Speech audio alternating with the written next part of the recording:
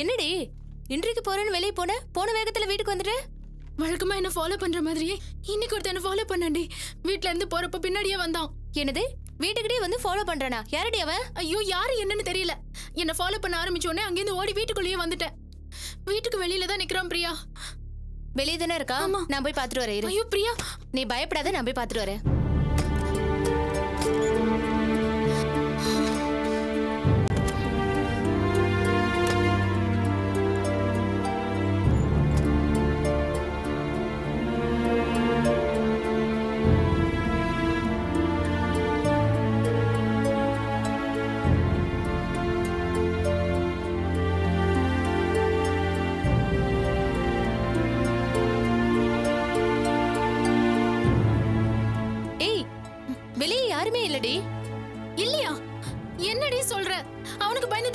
வீட்டுக்குள்ளேயே வந்தேன்.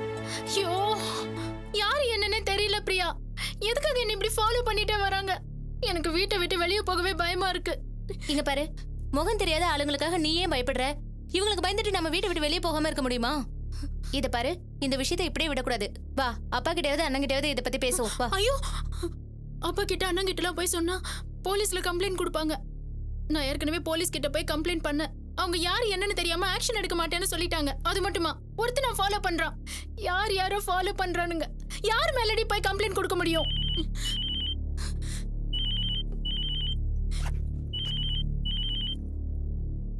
ஹலோ? என்ன? வீட்டுக்குள்ள போய் ஒளிஞ்சுக்கிட்டா? நான் உன்னை விட்டுருவேனா? என்ன? பதிலே காணும்? ஏய் நீ நீ ராம் தானே? பரவாயில்லையே. என்ன மறந்துட்டியோன்னு நினைச்சேன். ஆனா என் குரலை கூட மறக்காம ஞாபகம் வச்சிருக்க? நீ போற பக்கமெல்லாம் தினம் தினம் ஒவ்வொருத்தனா உன்னை நிழல் மாதிரி பின்தொடர்ந்து வந்திருப்பானே. அவனுங்களாம் யாருன்னு குழம்பி போயிருப்பிய. ரொம்ப குழப்பிக்காத. எல்லாரும் என்னுடைய நிழல் தான். பாத்தியா? பார்க்காம பேசாம எதுவுமே செய்யாம. ரோட்ல தைரியமா நடக்க முடியாம செஞ்சு வீட்டுக்குள்ளே உட்கார வச்சிட்டேன் பாத்தியா உன்ன? இது தாண்டி ராம் ஸ்டைல் என்ன ரொம்ப சாதாரணமா நினைச்சிட்டல இப்பவாவது இந்த ராம பத்தி முழுசா புரிஞ்சுக்கோ. ஏய் இது பார். நான் நினைச்சதை அடையிற வரைக்கும் தூங்கவே மாட்டேன். உன்னையும் நிம்மதியா இருக்க விட மாட்டேன். நீயா என்கிட்ட சரண்டர் ஆயிடு. இல்ல? இன்னும் புதுசு புதுசா டார்ச்சருங்களை அனுபவிக்க வேண்டி வரும். ஏ காவ்யா. இது வரைக்கும் நடந்தது எல்லாமே வெறும் ட்ரைலர் தான். இதுக்கப்புறமும் நீ என்ன தேடி வரல அதுக்கப்புறம் டேஞ்சர் தான். ஞாபகம் வச்சுக்கோ. அடச்சி எல்லாத்துக்கும் காரணம் நீ தானே இது வரைக்கும் யாரு என்னன்னு தெரியாம தான் நான் பயந்துட்டு இருந்தேன். இப்போ நீ தானே தெரிஞ்சு போச்சுல நான் இனி தைரியமா வெளியே போவேன். உன்னால என்ன பண்ண முடியுமோ பண்ணிக்கோ. என்ன ஃபாலோ பண்ணிட்டு வரானுங்கல்ல அவங்களுக்கு பின்னால யார் இருக்காங்கன்னு தெரிஞ்சு போச்சு. எல்லாம் அந்த ராமோட வேலை தான் ஐயே அவனா? இங்க பாரு அவன் தான் இப்ப யாருன்னு தெரிஞ்சு போச்சுல வா போய் போலீஸ்ல கம்ப்ளைண்ட் பண்ணலாம். அப்பதான் அந்த நோய்க்கு புத்தி வரும். அவன் தான் பண்றான்னு எந்த ஆதாரமும் இல்லடி. நான் போய் கம்ப்ளைண்ட் பண்ணாலும் அவன் ஈஸியா தப்பிச்சு போயிடுவான். அதுக்காக இந்த விஷயத்தை அப்படியே விட்டுலான்னு சொல்ல வரியா. அவனோட பலம் என்ன பலவீனம் என்னன்னு எனக்கு நல்லாவே தெரியும். நானே அவனை டீல் பண்ணிக்கிறேன். பிரியா இந்த விஷயத்தை மட்டும் வீட்ல யார்கிட்டயும் சொல்லிடாத. சரி எனக்கு டைம் ஆச்சு. நான் இன்டர்வியூக்கு கிளம்புறேன். கவ்யா நீ எதுக்கும் கொஞ்சம் பார்த்து ஜாக்கிரதையா இரு. யார் இதெல்லாம் பண்றாங்கன்னு தெரிஞ்சு போச்சுல்ல. இனி எனக்கு எந்த கவலையும் இல்ல. நான் பாத்துக்கிறேன். Okay bye best of luck thanks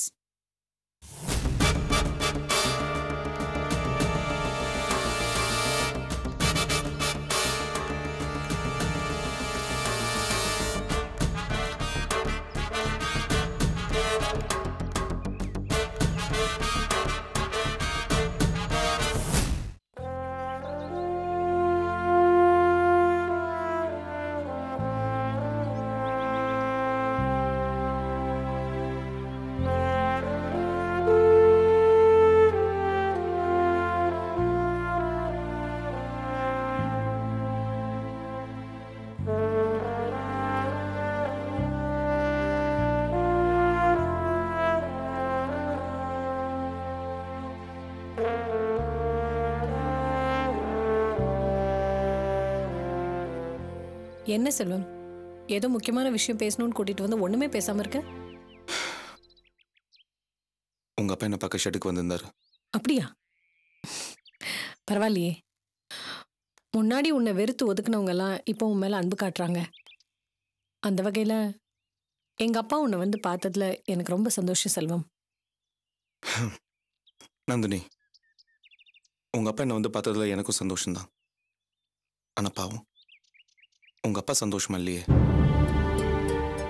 அவர் எதுக்காக என்ன பார்க்க வந்தாருன்னு உனக்கு தெரியுமா? தெரியும். என் கல்யாண விஷயம் தானே பேச வந்தாரு?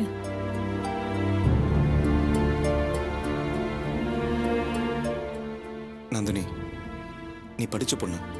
உங்ககிட்ட அதிகம் சொல்லணும்னு அவசியமே இல்லை. பெத்தவங்களோட ஆசையை நிறைவேற்றுறது தான் பிள்ளைங்களோட கடமை. உங்க அப்பாவோட ஆசை நீ கல்யாணம் பண்ணிக்கணும்னு. ஏன் அதை நிறைவேற்ற மாட்டேங்கிற? என்னால் அது முடியாது செல்வம் ஏன் முடியாதுன்னு எனக்கு காரணம் கேட்காத. அதுக்கு என்ன காரணம்னு உனக்கே நல்லா தெரியும். நந்தினி எனக்கு கல்யாணம் ஆயிருச்சு. இன்னும் என்னையே மனசுல வச்சுக்கிட்டு நீ கல்யாணம் பண்ணாம இருக்கிறது ரொம்ப தப்பு. நீ என்ன மாதிரி கல்யாணம் பண்ணிக்கிட்டு சந்தோஷமா இரு நந்தினி. உன்னை நான் மனசுல தானே செல்வம் நினைச்சிட்டு இருக்கேன் உன்னை தேடி வந்து ஏதாவது தொல்லை கொடுத்தனா? இல்ல உன் வாழ்க்கைக்கு இடைஞ்சலா இருக்கேனா? எதுவுமே இல்லையே. நான் பாட்டுக்கு என் வழியில போயிட்டு இருக்கேன் தயவு செஞ்சு நீ குறுக்க வராத. நந்தினி என்னால உன் வாழ்க்கை திசை மாதிரி தப்பான வழியில போயிட்டு இருக்கு அது சரியான வழியில திருப்பி உண்ணுங்கிற ஒரே காரணத்துக்காக தான் நான் திரும்ப திரும்ப வரேன். வேண்டாம் செல்வம். என்னை பத்தி நீ கவலைப்படாத. அர்ச்சனா கூட சேர்ந்து சந்தோஷமா குடும்பம் நடத்து. உன் சந்தோஷமான வாழ்க்கைய தூரத்துல இருந்து பார்த்து நான் சந்தோஷப்பட்டுக்கிறேன். எனக்கு அது போதும். நீ தனிமரமா இருக்கும்போது என்னால எப்படி நந்தினி சந்தோஷமா இருக்க முடியும்? இது பாரு நந்தினி. எனக்காக நீ கண்டிப்பா ஒரு கல்யாணத்தை பண்ணி தான் ஆகணும். முடியாது செல்வம். நந்தினி உன்னை எப்படியாவது கல்யாணத்துக்கு சம்மதிக்க வைக்கிறேன்னு உங்க அப்பாவுக்கு நான் வாக்கு கொடுத்துருக்கேன். நான் மானசீகமா உன் கையால தாலி கட்டிக்கிட்டு உன் கூட குடும்பம் நடத்தி ரெண்டு குழந்தை பெற்றிருக்கேன். அவங்க ரெண்டு பேரும் இப்ப ஸ்கூலுக்கு போயிட்டு இருக்காங்க. இப்படி மனசெலவுல உன் கூட வாழ்ந்துட்டு இருக்கேன் என்ன? வேற ஒருத்தரை கல்யாணம் பண்ணிக்கிட்டு ஒரு பொய்யான வாழ்க்கைய வாழ சொல்றியா செல்வம்? மனசுல ஒருத்தனை நினைச்சுக்கிட்டு மடியில இன்னொருத்தனை சுமக்கிற மாதிரி அசிங்கமான விஷயம் இந்த உலகத்துல வேற எதுவுமே இல்லை. அப்போ? இதான் உன் முடிவா? உங்க அப்பாவுக்கு நான் கொடுத்த வாக்கு? சாரி செல்வம். இந்த விஷயத்துல நீ கொடுத்த வாக்கை என்னால காப்பாற்ற முடியாது. முடியும் நந்தினி.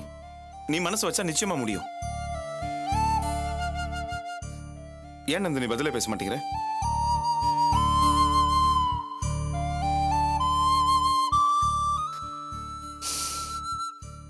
சரி செல்வம்.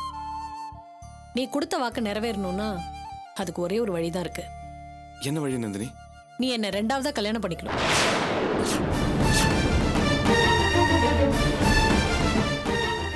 அப்ப நான் என் கல்யாணத்துக்கு சம்மதிக்கிறேன். நடக்குமா? நடக்காதுல்ல? அப்ப என் கல்யாணமும் நடக்காது. இனிமேல் என் கல்யாண விஷயமா என்கிட்ட எதுவும் பேசாத.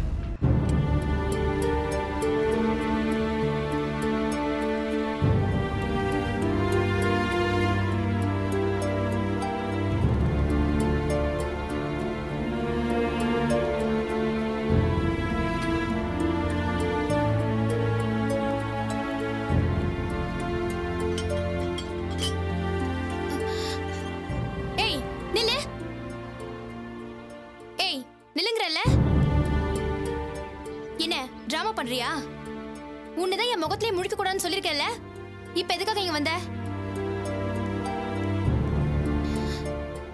வாட்டர் கேன் போடுற மாதிரி என் வீட்டுக்கு வந்து ஆக்ட் பண்ணா பரிதாபப்பட்டு உன்னை மன்னிச்சிடும்னு நினைக்கிறியா? உனக்கு எல்லாம் என்ன சொன்னாலும் ரோஷமே வராதா? ஏய் பதில் சொல்லிட்டு போ. நான் இங்க கத்திட்டு இருக்கேன் நீ பாட்டுக்கு போயிட்டு இருக்க.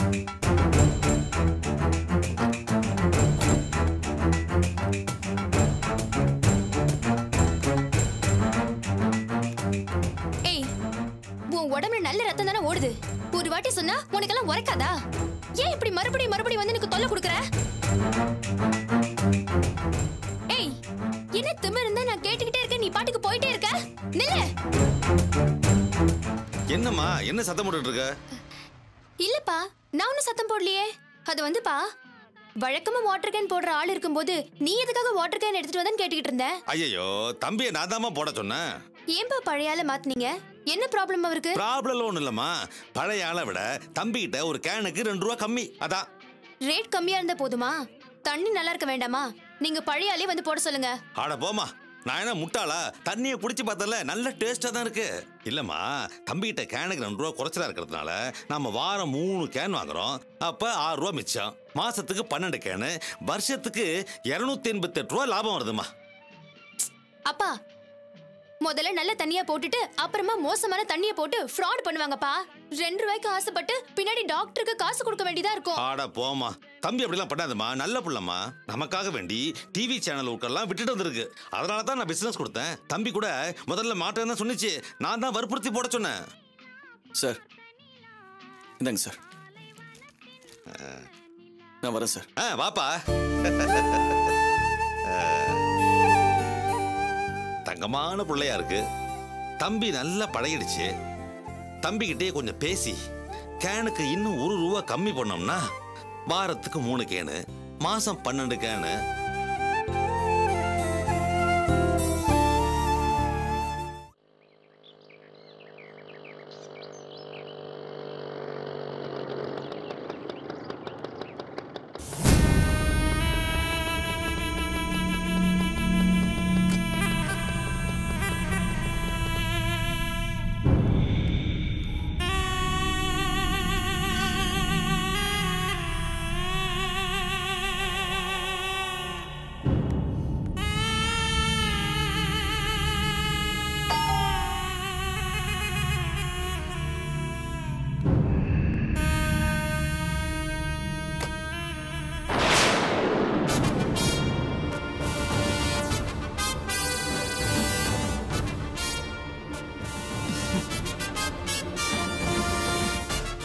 ஹாய் என்னை எதிர்பார்க்கல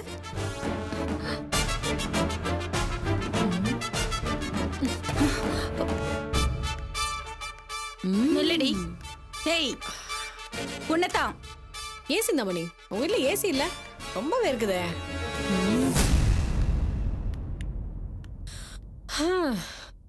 என்னடி? திறந்த வீட்டுக்குள்ள ஏதோ நுழையுதுன்னு சொல்லுவாங்களே. அந்த மாதிரி நீ என் வீட்டுக்குள்ள வந்து கால் மேல கால் போட்டுக்கிட்டு ரொம்ப ஜம்மமா உட்காந்துட்டு இருக்க? இது என்னது இது? என் கால் மேல தானே நான் கால் போட்டேன்? உன் கால் மேலயா போட்டேன்? அதுக்கு போய் ஏன் இவ்வளவு டென்ஷன் ஆற? சிந்தாமணி வயசான காலத்துல டென்ஷன் ஆறது உடம்புக்கு நல்லதில்ல. கொஞ்சம் குறைச்சுக்கோ. ஏய் இங்க எதுக்காக வந்த? முதல்ல எழுந்து வெளியில போ. போறேன். டெஃபினட்டா போறேன். ஆனா அதுக்கு முன்னாடி நான் எதுக்காக வந்தேன்னு சொல்லிட்டு போறேன். அம்மா உள்ள ஃப்ரிட்ஜ் இல்ல?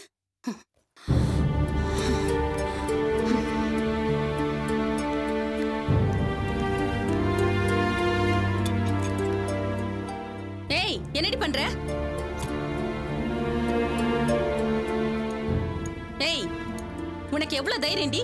என் வீட்டுக்குள்ள வந்துட்டு இந்த மாதிரிலாம் பண்ணிட்டு இருக்க? ம். ஏன் நான் உன் வீட்டுக்கு வரக்கூடாதானே வரக்கூடாது.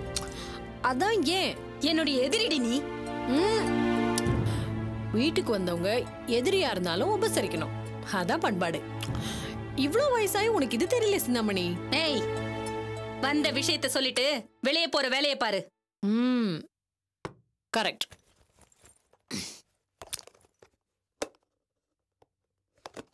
இந்தா ஸ்வீட் எடுத்துக்கோ. என்ன பாக்குற? எல்லாம் நீ சொல்லி கொடுத்ததுதான்.